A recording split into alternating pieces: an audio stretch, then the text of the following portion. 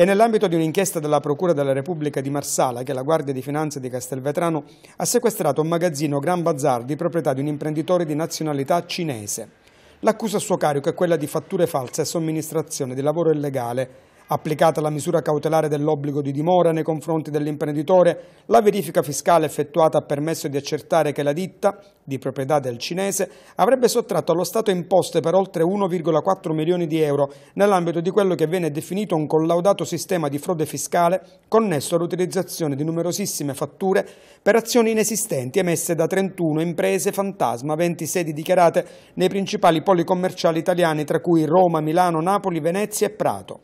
Sono più di 1100 le fatture individuate dai finanzieri nella contabilità della ditta, ditta accusata di aver registrato costi fittizi, potendo abbattere grossi utili conseguiti nell'esercizio dell'attività commerciale. Per l'anno d'imposta 2015 l'imprenditore avrebbe omesso completamente la presentazione delle dichiarazioni fiscali obbligatorie, nascondendo così all'erario redditi per oltre 1,7 milioni le fiamme gialle ritengono che quello venuto fuori sia un sistema fraudolento fatto di ripetute evasioni che hanno consentito alle imprese di azzerare completamente le imposte da pagare. Ma non finisce qui. La tenenza di Castelvetrano ha anche scoperto che chi lavorava in quel gran bazar lo avrebbe fatto in nero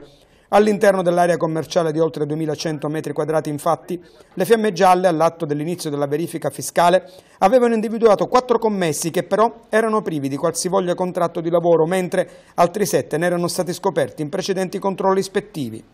In tutto sono 32 le persone denunciate a vario titolo per l'emissione di fatture o altri documenti per operazioni inesistenti, dichiarazione fraudolenta mediante l'uso di fatture false, omessa presentazione delle dichiarazioni fiscali obbligatorie ai fini dell'IVA e delle imposte sui redditi.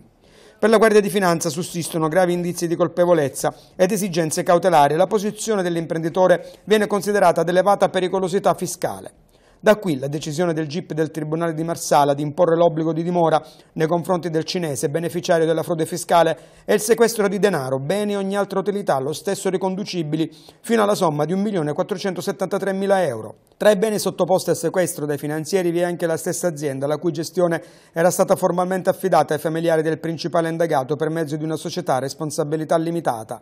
Le quote sociali di quest'ultima società e l'intero compendio aziendale saranno invece ora gestiti da un amministratore giudiziario.